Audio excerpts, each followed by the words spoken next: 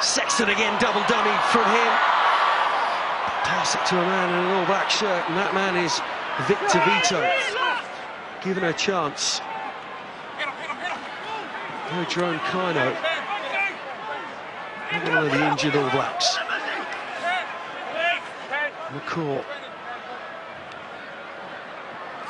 Whitelock. Great tackle from Sean O'Brien. It turned over.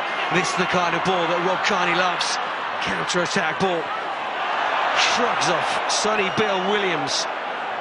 I'll say that again. Rob Kearney shrugs off Sonny Bill Williams. I'll say that too often.